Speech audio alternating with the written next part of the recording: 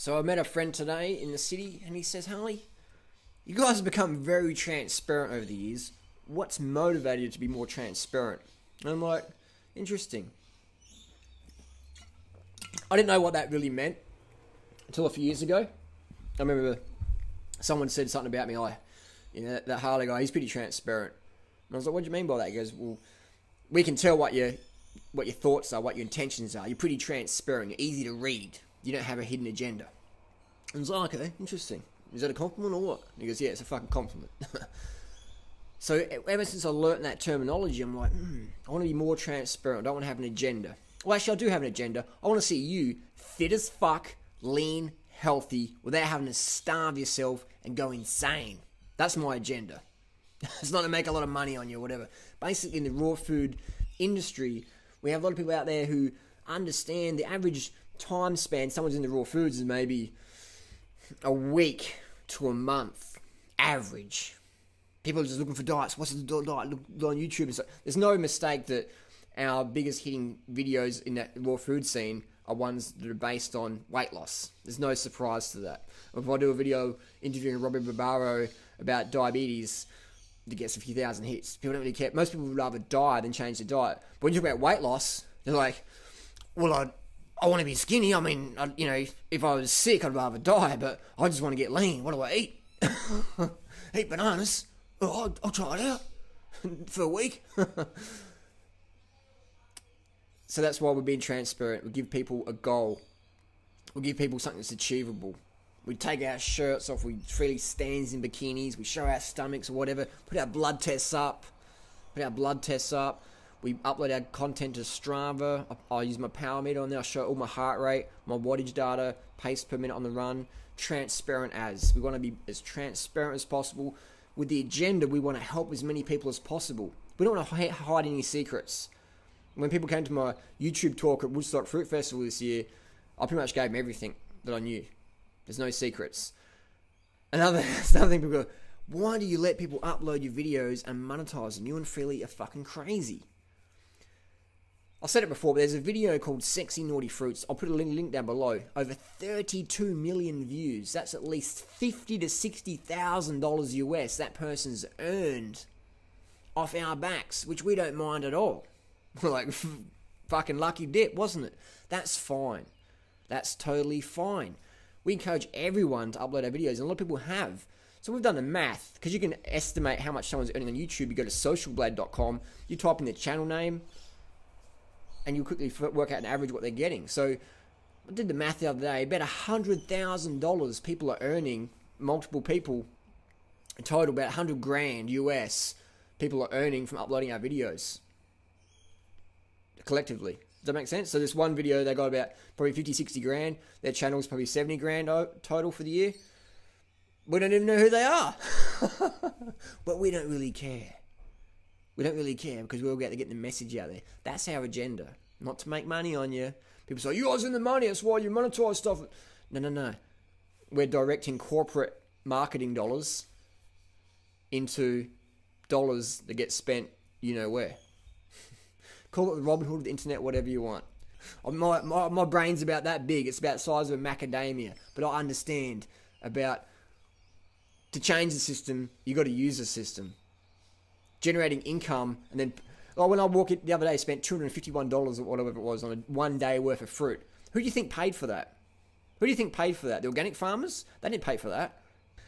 So that's why we do it. We be transparent. We let people upload our content, our videos, monetize them, whatever. Spend the money wisely. Buy a nice bike.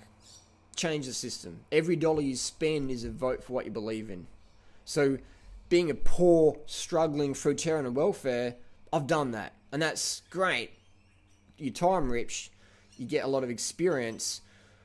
But I wasn't really supporting many organic farmers, was I? Because most of the food my friend was giving to me, you know, at the fruit shop or I was we were foraging or whatever, but we weren't really changing economies being that struggling, were we? Bottom line. Bottom line. Every dollar we spend is a vote for what we believe in. We aren't going to change shit being purists or whatever. That's a great virtue to have, but you got to step back and look at the bigger picture.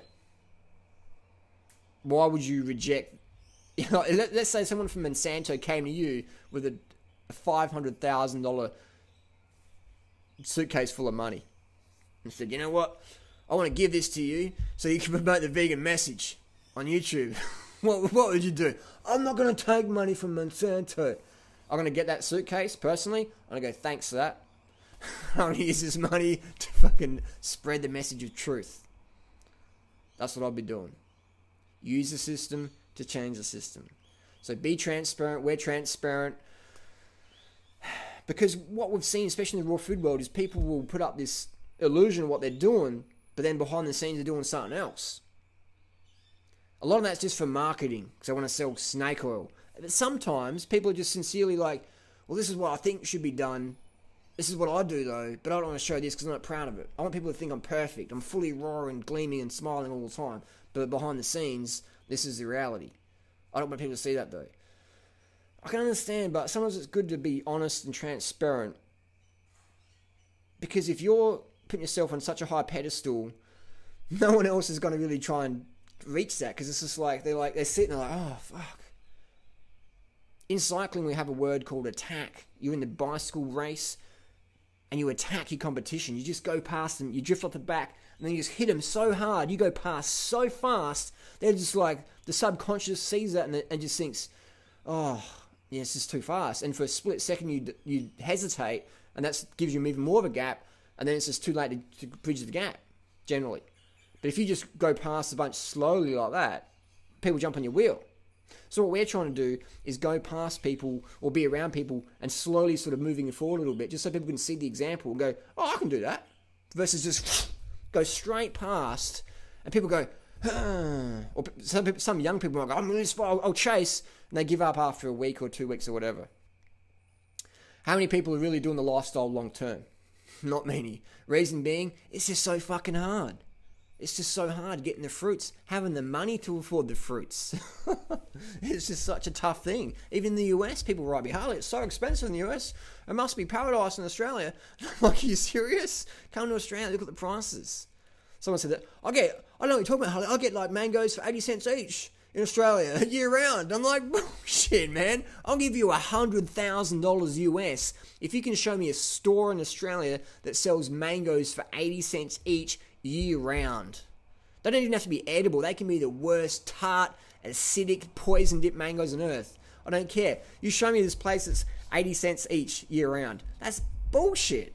What you've probably done is you're interested in raw foods, you've gone to the supermarket or some market and you've seen these mashed up fucking chemical dimethoate dipped mangoes in some box in the corner and it says 80 cents each. You're like, oh, 80 cents, oh, doing what is wrong.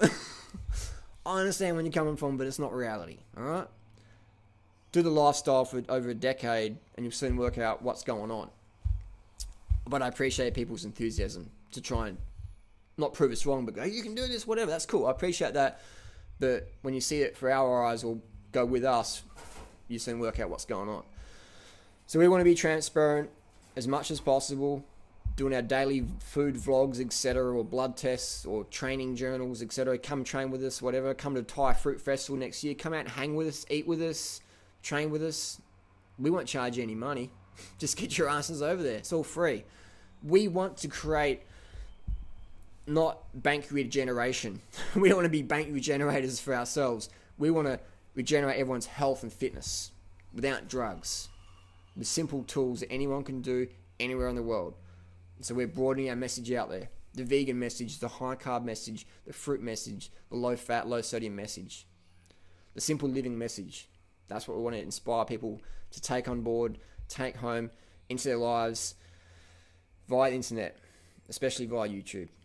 So hopefully that answers a few questions. Why are we so transparent? We just want to fucking help people.